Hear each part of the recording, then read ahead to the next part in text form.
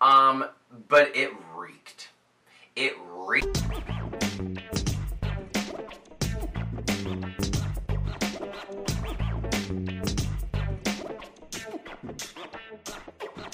Hello everybody and welcome back to my channel.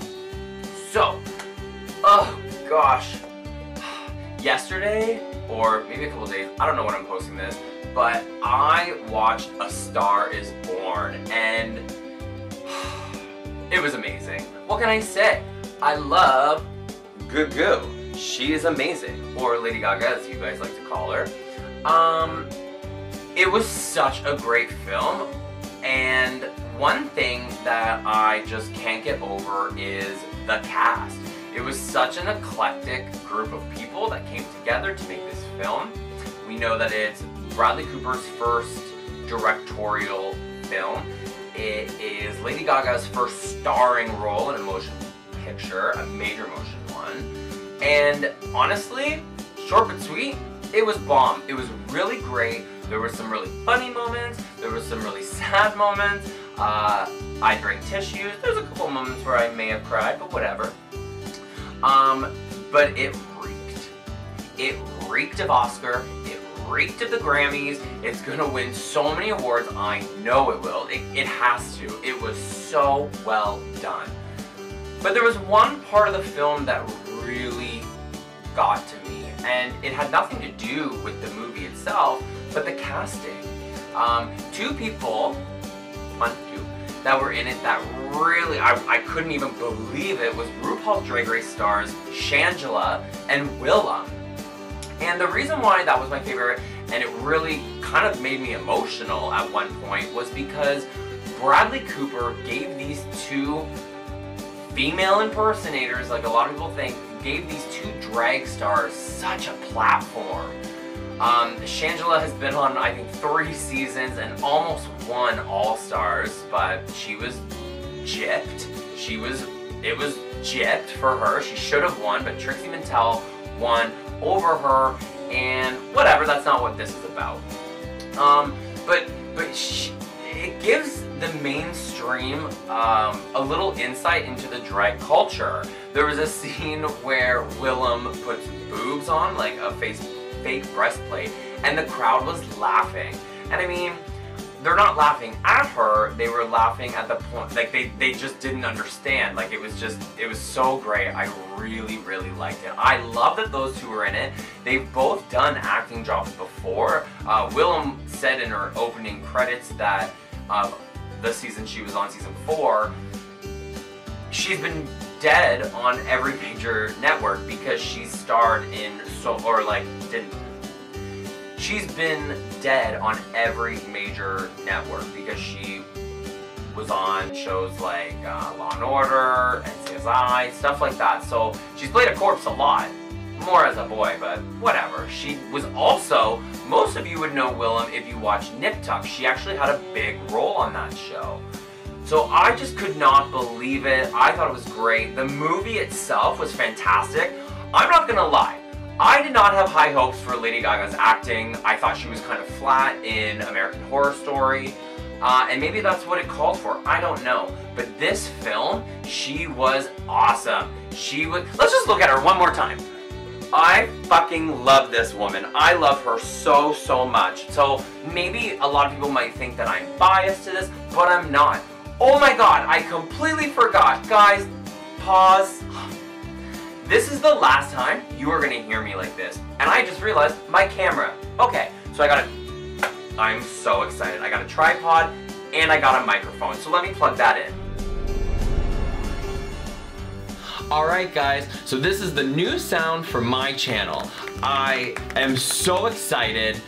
Ugh, don't I sound great? I hope I sound great. I hope it's working. Uh, uh whatever. Okay, anyways, let's just hope it is. So I cannot believe this film. It was so good. Bradley Cooper, holy crap. He played Jackson Maine. Uh, Lady Gaga was Ally. That's all I'm gonna tell you. Um, she played Ally, she was amazing. But Jackson Maine was a very troubled soul. The way his his dialect, the way he spoke, he he has problems of his own. I mean, you've probably seen uh, the trailer and stuff like that. I'm just, whatever, spoiler alert, he's an alcoholic. And the story of alcoholism and mental health is actually quite apparent in this film. It was so good and it is so worth the money. I would watch it for hours. It was, you know what? There's only been two movies that I've seen in theater where I was not, when does it end? When does it end? And that was A Star is Born and The Kingsman, the first one what can you say about Lady Gaga in this film? She killed it. She's definitely gonna get an Oscar nomination. They're definitely gonna get Grammy nominations. It's just impossible not to. Um, I think opening weekend they made 43 million, which is respectable. It's not crazy, but it doesn't have to be. I don't give a shit if this thing comes out and nobody watched it. I knew I was gonna love it.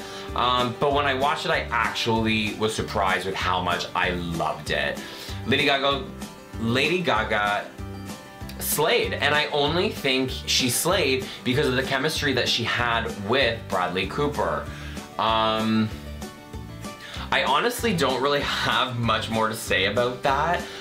I think you should watch it. I think you should, you know what you should do? Okay, you should go into it with like a really open mind. Don't look at her as a pop star, look at her as an actress. Look at her as an introduction. You don't know her because honestly, if, if you do that, you're really gonna fucking love it. Gaga's been in a bunch of stuff and critics are gonna say what they want and people are gonna say what they want about her, but she fucking killed it. Um, short and sweet, just like me. Well, I'm not too short, I'm 5'11", but that's none of your damn business. oh my god, look at that. I still have like lines from like the, like no tan, I have a tan. It's October and I still have tan lines. Anyways, um, thank you for watching. If you are not subscribing, why not? That's interesting. Uh, all of my social media will be linked below. I love this bitch. I love her to death. Anyways, I hope you enjoyed this video and my little rant on how much I fucking love her. And just go to this movie, go to it with an open mind, and you are going to be treated with a great fucking time. Two hours and 10 minutes is a little long for a film, but like I said, I, I could have watched a five hour film with her. She's huge, she has some great songs. Oh my god, the songs and the album are absolutely fantastic. One thing you need to know is there's a lot of talking on the album, but that's all you need to know. God damn it! I can't wait for her next film. I can't wait. Apparently there's a rumor that she's gonna be starring on Broadway's um, resurgent of Funny Girl, starring Rosie O'Donnell and Lady Gaga. If she is, that's a lot. She's gonna be traveling from New York to Las Vegas to do her show and to do Broadway. Something tells me it's just a rumor. Lady Gaga, if you are seeing this, which Hey girl, oh my god, you're watching me. You're not. Take a break. Take some time. You got some shit. Like, if you are doing this funny girl, which I, I kind of hope you're not because now I gotta go to New York and watch it, but you need to take a break. Take some time, go fucking do something, but take some time for yourself and I fucking love you. I love you, I love you. And Bradley Cooper, thank you so much for putting Gaga, Willam, and Shangela in this because honestly, you fucking rock. This movie was so fucking good. You killed it. Two thumbs up says Bradley and Ebert, and I'll see you at the Oscars. Bye, guys. Remember, guys, if you want to see my videos and get notified about them, you have to subscribe and you gotta hit the bell, or you won't know.